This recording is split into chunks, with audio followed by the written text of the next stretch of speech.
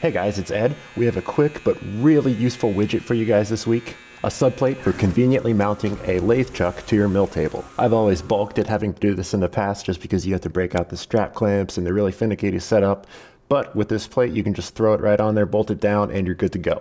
Welcome to another Wednesday widget.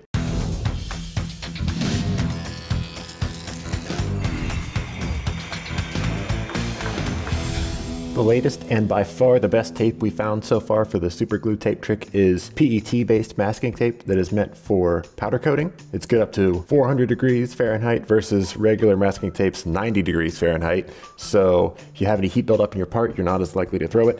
And we found it holds up extremely well to coolant. We'll have a full video out on this new tape soon, putting it through the same kind of tests we did in our first video on this trick. In the meantime, you can follow this card over to our page on the NYC CNC site for links to all of the supplies that we're currently using here. Card here to the F3D file if you want to check out any of the speeds and feeds used on this project.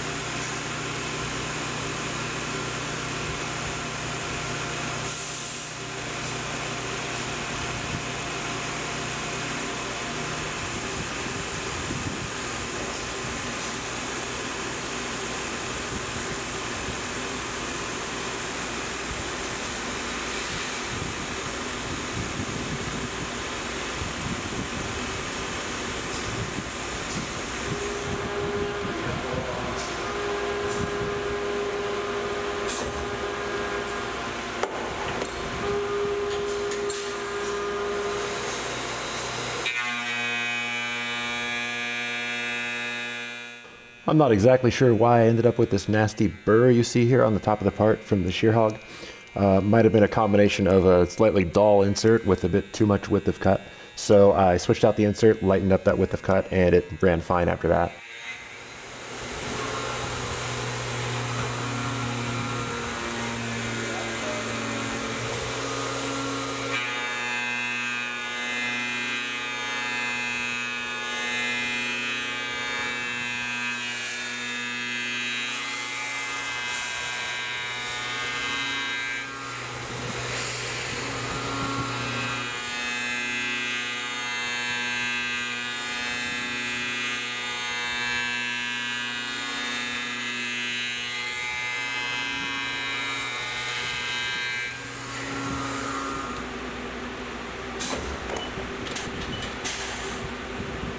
For those of you who wonder why I usually peck when spotting, it's because this drill mill we use for spotting and chamfering has straight flutes at the end, and I found it really helps it do its thing when spotting if you give it a little bit of assistance breaking those chips.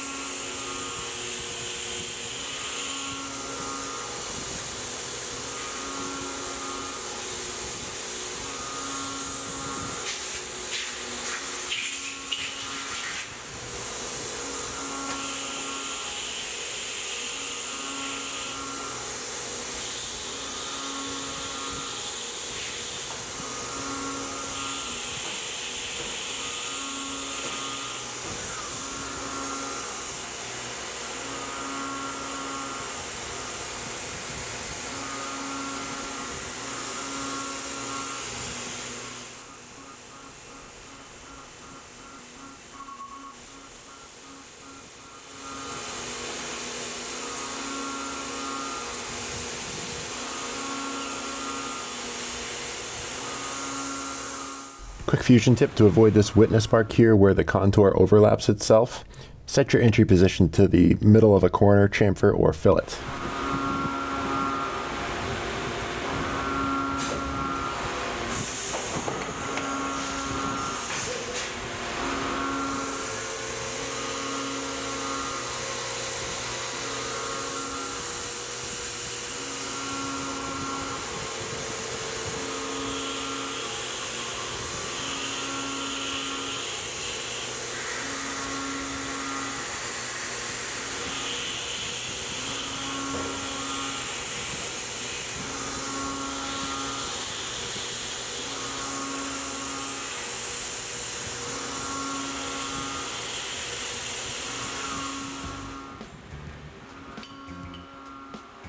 You can see just how difficult it is to get this tape to come loose. Almost every time, the weak point is actually the super glue. So we're looking for a quick adhesive that acts more as a cement than a glue to actually fuse the two layers of tape into one after being applied. At that point, I really think this stuff could take some heavy hogging. So let us know in the comments down below if you guys have any good suggestions for that. Here I'm using some short dowel pins to align the mounting holes as close as I can to the plate for the second op.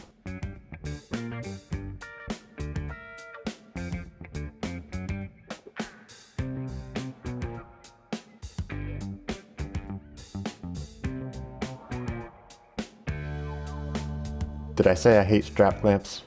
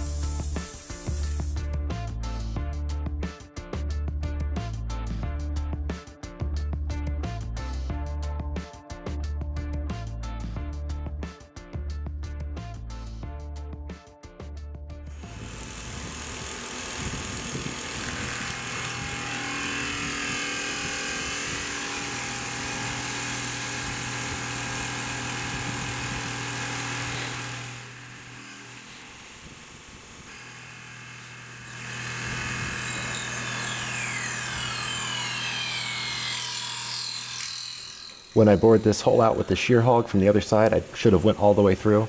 And you can see I was left here with a potentially dangerous free piece of material when I faced off this thin hat.